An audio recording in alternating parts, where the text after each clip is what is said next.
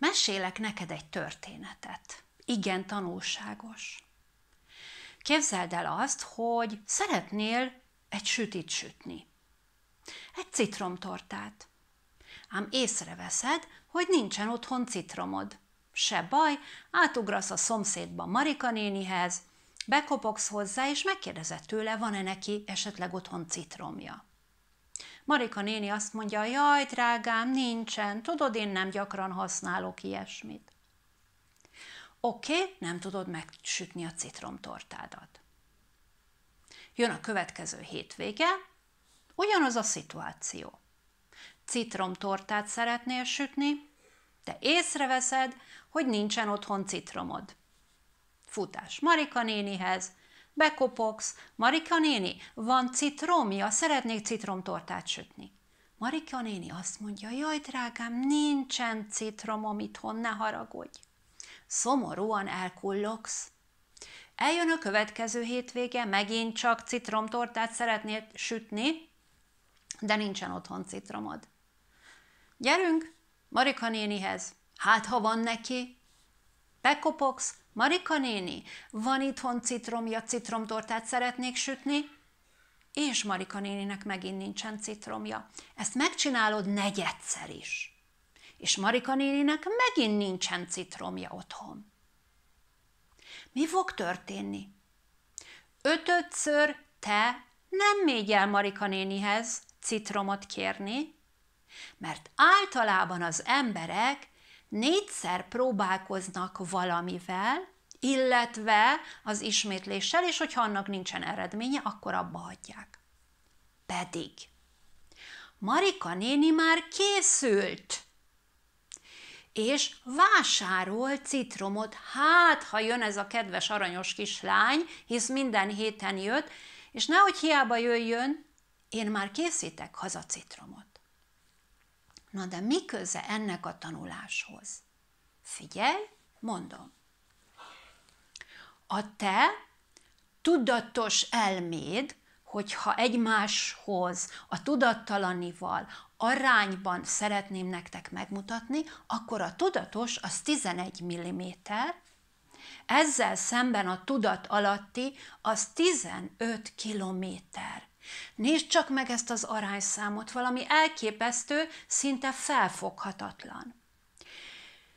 Ez pedig azt jelenti, hogy amit te valamikor megtanultál, akkor az belekerült a tudatalattidba, vagy mondhatnám úgy is, hogy a hosszú távú memóriádba, a memória bankodba.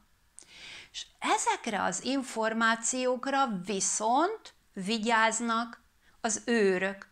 Jól eltárolták az őrök ezeket az információkat, mondjuk legkönnyebb megérteni egyébként egy idegen szóval. Ha megtanultál egy idegen szót, úgy érezted, hogy oké, okay, megvan, tudod, akkor az bekerült valahova a hosszú távú memóriába, mert néhányszor ismételted, és egy őr rácsücsült.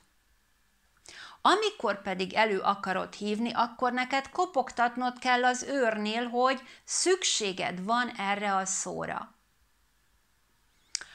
Ebben az esetben az őr kinyitja és odaadja neked. Igen ám, utána lecsukja a fedelet. Itt ezen ő rajta. Majd másnap újra kopogtatsz, hogy neked megint szükséged lenne az, erre az idegen szóra, akkor ő megint föláll, kinyitja a lakatot, odaadja neked. És itt jön az összefüggés Marika nénihez, hogy általában az emberek négyszer kérik az őrt, hogy nyissa ki és minden egyes alkalommal várni kell és keresgélni kell, mire előrántja az őr, és itt adják föl. Jaj, én ezt a szót nem tudom megjegyezni. Nekem ez nem megy. Pedig az őr, amikor már hatodszor, hetedszer vagy nyolcadszorra kéri, akkor azt mondja, hát hülye lennék én itt állandóan nyitogatni ezt a dobozt, amikor a gazdám kéri ezt a szót, nyitva hagyom neki.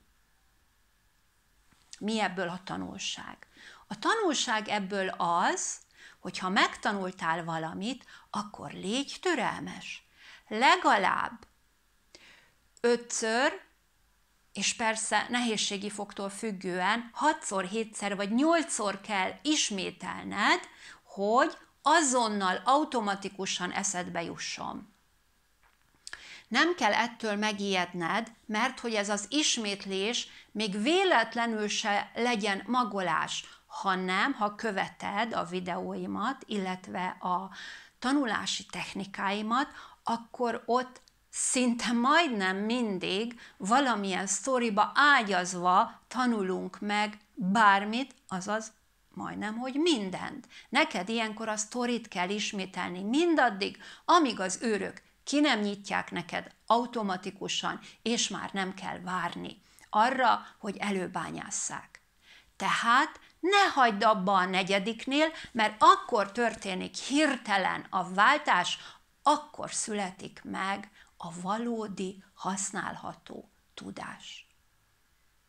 Hasonló jó tanácsokat az agyműködésről, a tanulásról, a módszerekről, mit csinál az agytanulás közben, találsz a honlapomon, blog formájában, illetve itt a YouTube csatornámon is.